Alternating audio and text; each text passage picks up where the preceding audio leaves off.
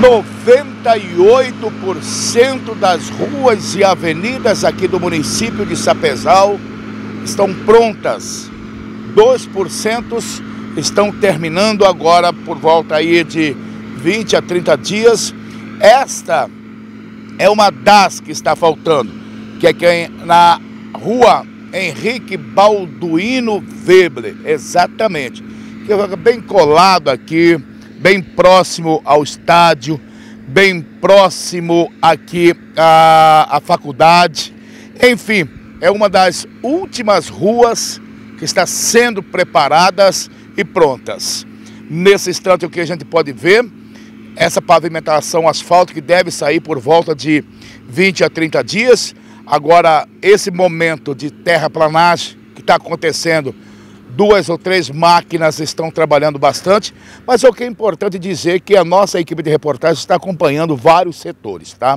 Estamos acompanhando vários setores, nós estamos acompanhando tanto no setor privado como em outros setores também, a gente nota que a cidade de Sapezal, de certa forma, está chegando aí na sua reta final do asfaltamento em todos os bairros, ruas e avenidas. Nós podemos até colocar, ver como as máquinas estão trabalhando bastante.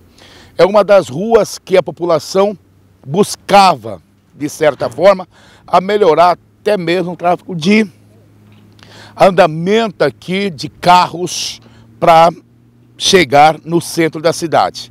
Aqui era uma das ruas que estava faltando o asfalto, porque aqui era muita poeira, até mesmo com a chegada aí da faculdade, esse, essa obra tão importante para o município de Sapezal, que é essa faculdade, e hoje ela está sendo preparada.